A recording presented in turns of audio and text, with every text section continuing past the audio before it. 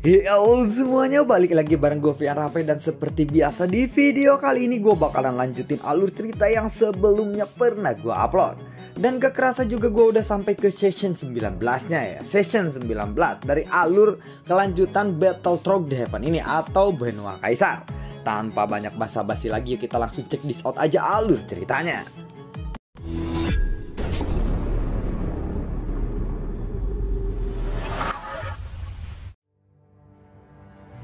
episode sebelumnya, Xiaoyan yang berhasil mengalahkan Wu Zhen dengan sangat mudah. Saat ini Wu Zhen mengambil kesempatan untuk segera meloloskan diri dari kendala Xiaoyan. Lalu dia pun memulihkan luka-lukanya. Kekalahan Wu Zhen ini terlalu cepat. Jiangsu lalu memandang ke arah Xiaoyan yang sedang memegang pedang Bang Huang di tangannya. Dia lalu berkata saat melirik ke arah Xiaoyan. Ini benar-benar menarik. Ternyata reinkarnasi dari supremasi hidup, ucap dari Jiangsu. Bukankah Anda adalah yang mulia Jiangsu dari aliansi dewa? Aku juga sepertinya mengenal Anda, ucap dari Xiaoyan sambil tersenyum menatap ke arah Jiangsu. Apakah kamu ada di sini untuk membalas dendam kepada aliansi dewa? Tanya dari Jiangsu kepada Xiaoyan. Jiangsu menyangka bahwa Xiaoyan ada di sini untuk menyelidiki mereka. Padahal sebenarnya Xiaoyan mengetahui mereka saat Xiaoyan berada di aliansi dewa menjadi Xiao Feng. Lagi pula, meskipun Jiangsu tidak mengambil tindakan pada saat perang di Star, tetapi Xiaoyan tidak akan memaafkan siapa pun yang telah berpartisipasi dalam perang itu, termasuk juga Jiangsu. Aliansi dewa perlu dibentuk ulang. Tantangannya harus Xiaoyan hadapi satu demi satu kali ini. Kekuatan Wu Zhen memang sedikit lebih lemah. Tetapi Jiangsu ini juga cukup terkenal di antara sembilan yang mulia papilion dari aliansi dewa. Saat ini Jiangsu sedang memegang pisau berwarna biru. Sedangkan satu tangannya yang lain sudah bersiap untuk menyambut pisau keduanya. Hanya sedikit orang yang bisa membuat Jiangsu sampai mencabut pisau keduanya. Sedangkan yang pisau ketiga Sejauh ini hampir tidak ada orang yang pernah melihat dia mencabut pisau ketiganya.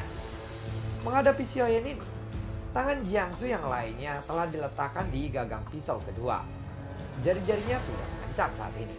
Dan pisau panjang kedua akhirnya secara perlahan ditarik keluar dari sarungnya. Untuk menghadapi seorang Xiaoyan, dia langsung memegang dua pisau sekaligus. Padahal Jiangsu belum memulai bertarung dengan Xiaoyan. Ini berarti bahwa Jiangsu sangatlah waspada akan Xiaoyan ini. Aku mendengar bahwa ketiga pisau itu hanya digunakan untuk membunuh para dewa saja. Bahkan saat Anda sudah menarik pisau keduanya, sudah dipastikan bahwa musuh yang Anda hadapi akan langsung kehilangan kepalanya.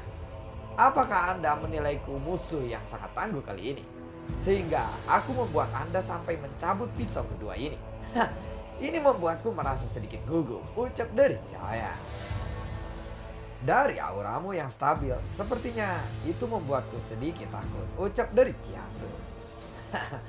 Aku merasa tersanjung mendengar itu, ucap dari saya. Hanya dalam beberapa detik saja, kekuatan Xiaoyan sudah meroket dari tahap awal fighting God bintang 5 ke tahap tengah fighting God bintang 6. Ini adalah kekuatan dari Yaoyan. Tetapi Xiaoyan belum sepenuhnya menggunakan kekuatan Yaoyan ini. Karena saat ini kekuatannya telah sepenuhnya dikendalikan oleh Xiaoyan sendiri, tentu saja Chang Sui dan yang lainnya tidak dapat melakukan itu. Lagi pula, yang mereka punya hanyalah sebuah gumpalan kecil dari Yaoyan saja. Sedangkan milik Xiaoyan adalah Yaoyan versi yang sempurna.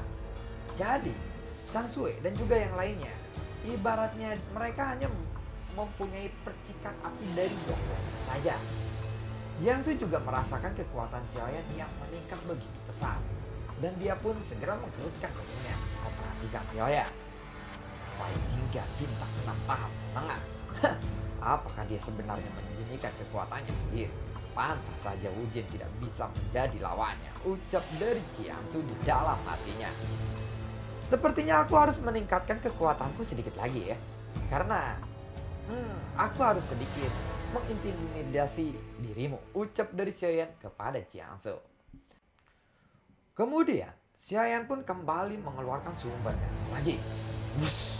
Tiba-tiba kekuatan Xiaoyan pun naik ke puncak fight 3 bintang 6. Dan adegan ini menyebabkan Jiangsu menjadi gemetaran. Wu Zhen yang sedang duduk bersila untuk memulihkan dirinya pun membuka mulutnya lebar-lebar karena sangat terkejut akan hal ini. Matanya saja hampir keluar. Bagaimana mungkin ada seseorang yang bisa menaikkan kekuatannya hingga saat ini dengan begitu cepat. Dia belum pernah melihatnya sebelumnya. Dia awalnya sangat dendam kepada Xiaoyan. Dan ketika dia pulih lagi, dia berniat untuk membunuh Xiaoyan dengan dibantu oleh Jiangsu. Namun ketika dia melihat kekuatan Xiaoyan yang meroket, Wu Zhen pun tidak berani untuk menyerahnya. Mungkin dia akan segera lari dan melarikan diri dari tempat ini. Tetapi tingkat pertempuran ini bukanlah selevel dengannya. Dan Wu Zhen hanya bisa berdoa untuk kemenangan Jiangsu saja saat ini. Namun, jika Jiangsu juga tidak berani, maka sudah dapat dipastikan bahwa Wu Zhen pasti akan mati di tempat ini. Karena memikirkan hal ini, keringat dingin pun muncul di dahi Wu Zhen.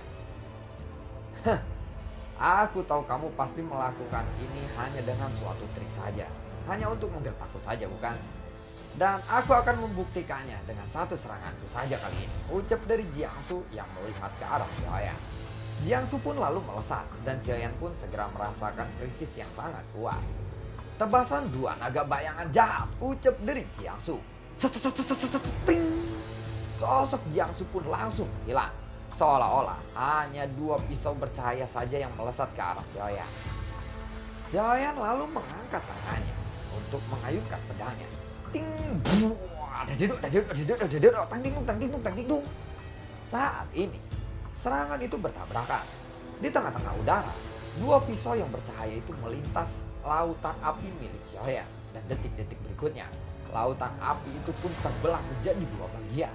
Dan Jiangsu muncul di sana sambil memegang dua pisau dan langsung menuju ke arah Xiaoyan gerakannya memang sangat cepat lalu Xiaoyan pun menyiapkan tinjunya kali ini api dan petir pun bercampur di tangannya. Dan Xiaoyan juga ingin menggunakan lengan dewa peledak. Meskipun begitu, Xiaoyan tahu bahwa kekuatan lengan dewa peledak ini belum terisi secara penuh. Jadi Xiaoyan juga akan menggunakan kekuatan kolam Yuyu kali ini. Pada saat ini, skill Seven Kill Shaking First telah bergabung dengan empat kekuatan dan pada saat ini kekuatan jiwa Xiaoyan juga melonjak keluar dan tercampur ke dalam second seven skill shaking first. Tinju Xiaoyan ini memunculkan gelombang yang sangat luar biasa kuat. Skill seven kill shaking first teriak dari Xiaoyan. Buar. Dua pisau di tangan Jiangsu lalu diletakkan di arah depan dada untuk menahan serangan Xiaoyan ini. Dan sebuah badai besar pun meletus dari serangan Xiaoyan tebasan badai bayangan. Ucap dari Jiangsu.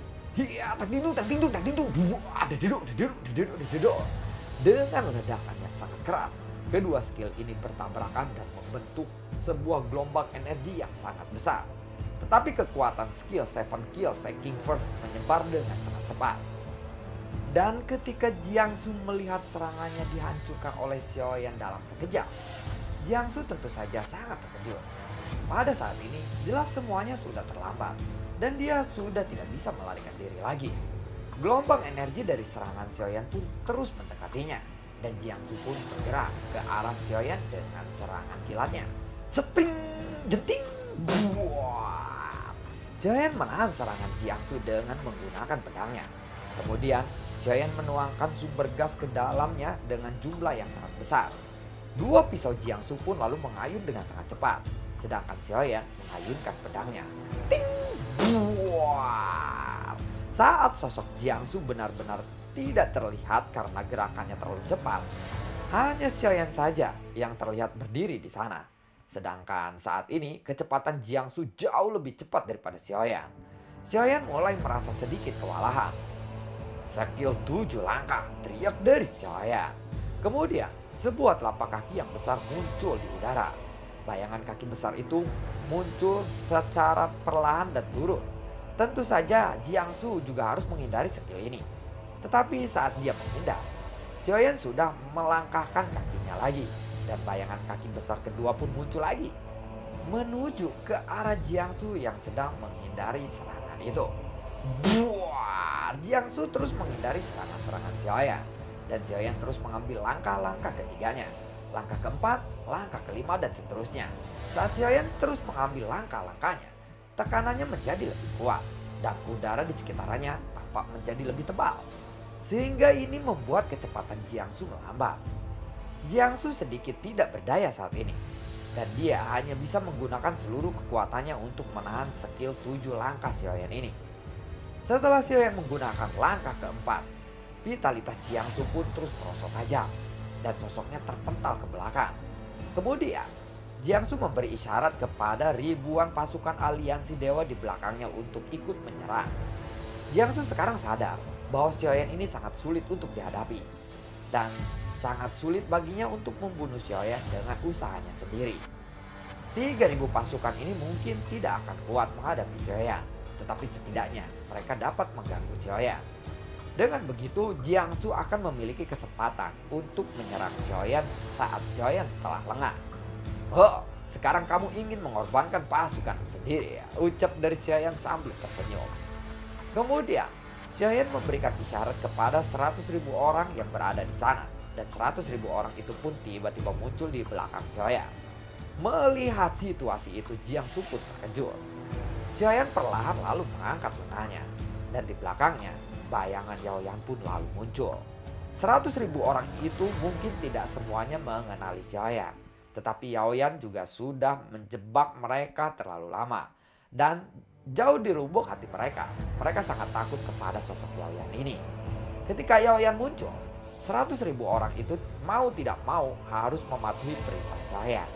Tetapi meskipun jumlah mereka lebih banyak, semua pasukan aliansi dewa adalah pasukan elit.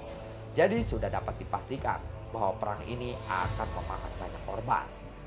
Yang mulia Jiangsu, aku tahu kamu ingin menggunakan para prajurit dari aliansi dewa ini sebagai umpan bukan?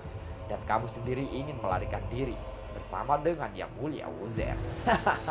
Ucap dari saya.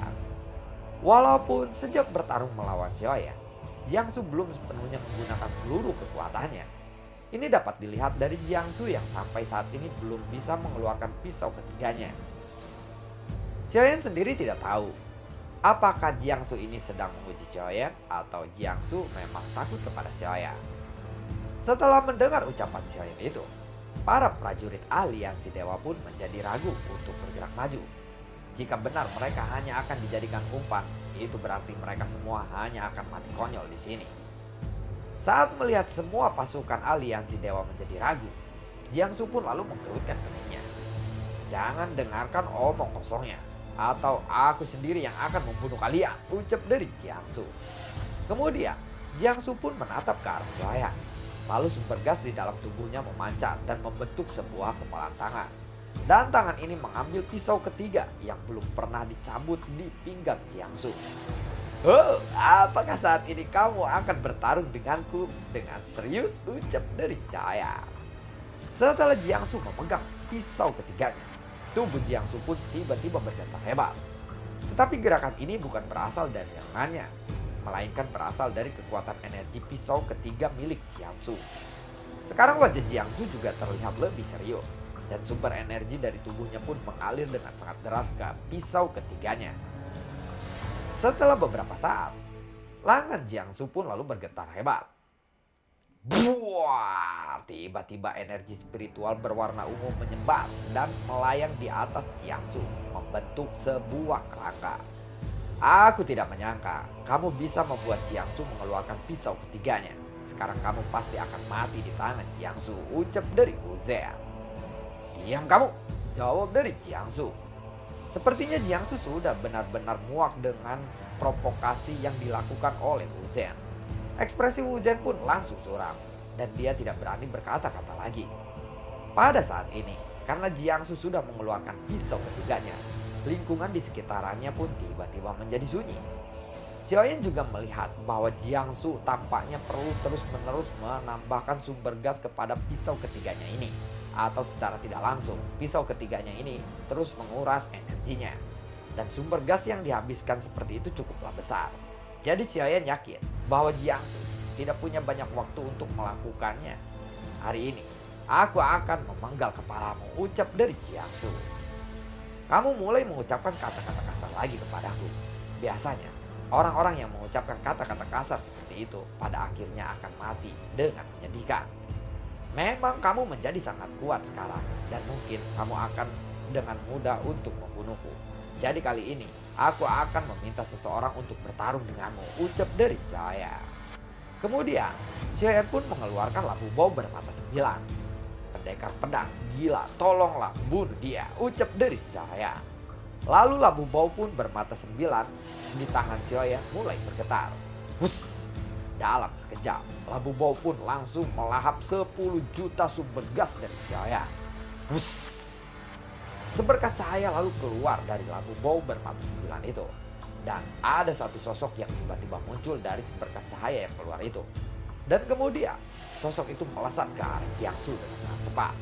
Tiba-tiba Jiangsu pun merasakan tekanan yang sangat luar biasa dari sosok yang keluar itu. Denting buar, pedang dan pisau itu pun saling beradu.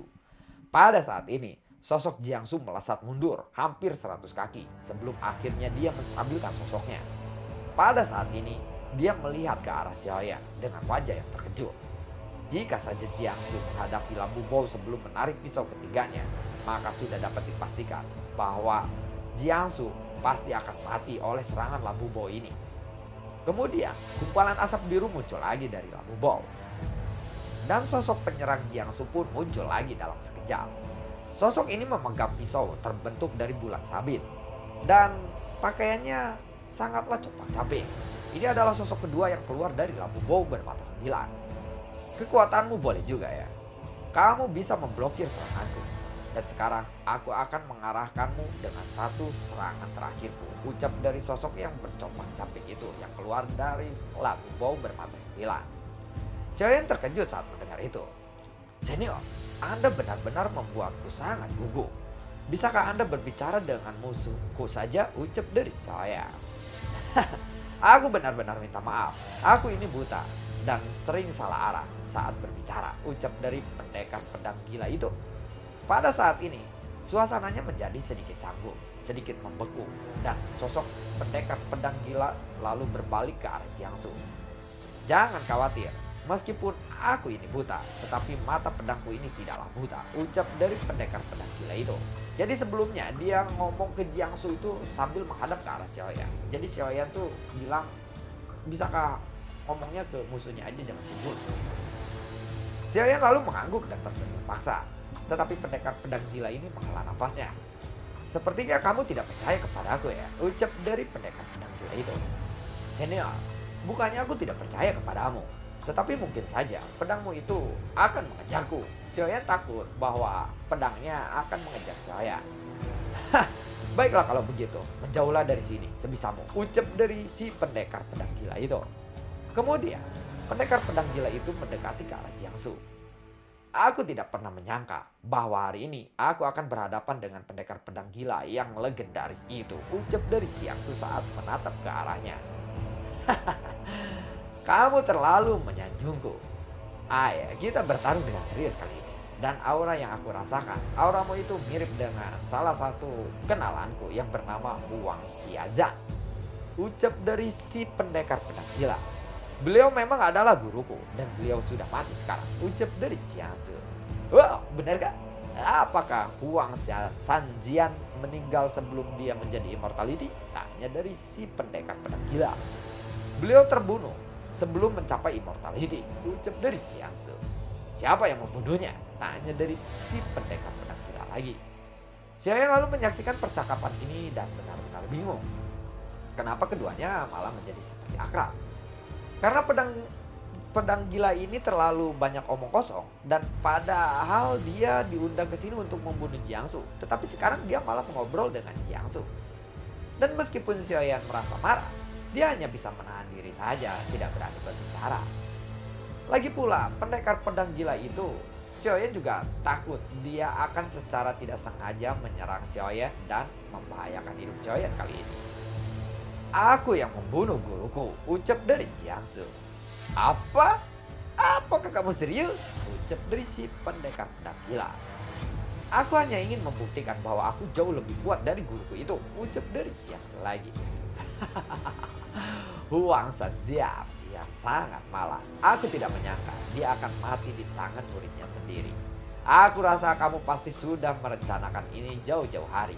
Jadi itu bukanlah suatu niat yang jahat yang tiba-tiba bukan. Ucap dari si pendekar pedang gila. Ketika dia menjinakkan kepalaku dan meludahiku, aku memutuskan untuk membunuhnya. Ucap dari Chiangsu. Bagus sekali. Sebenarnya aku juga pernah memiliki murid yang dibunuh oleh Huang Sanxia. Tetapi aku rasa kalian berdua sangatlah mirip. Terutama sikap trempar mantal kalian sendiri. Ya, aku. Hmm, aku sangat menyukai orang-orang seperti itu. Ucap dari sang pendekar pedang gila. Aku tidak akan membutuhkan sanjunganmu itu. Ucap dari Jiangsu. Ya lagi pula aku juga akan segera membunuhmu. Jawab dari si pendekar pedang gila. Lalu bagaimanakah kelanjutannya? Akankah si pendekar pedang gila ini berhasil membunuh Jiangsu atau sebaliknya? Nantikan video gue berikutnya dan semoga sehat selalu untuk kalian. Gue juga mungkin hari ini upload satu video satu video dulu ya karena mungkin si penulis skripnya lagi sibuk atau yang penting hari Sabtu gue upload aja gitu ya biar skripnya diirit-irit atau tahu mana dan nantikan video gue berikutnya. Semoga sehat selalu untuk kalian. Gue juga tidak lupa untuk selalu ucapin terima kasih banyak buat kalian yang sudah mendukung channel ini dari dulu hingga saat ini dan gue juga selalu ucapin terima kasih banyak buat kalian yang sudah mensupport channel ini lewat link Saweria di bawah kolom deskripsi Sampai ketemu lagi di video gue berikutnya. Semoga sehat selalu untuk kalian. Dadah. Assalamualaikum.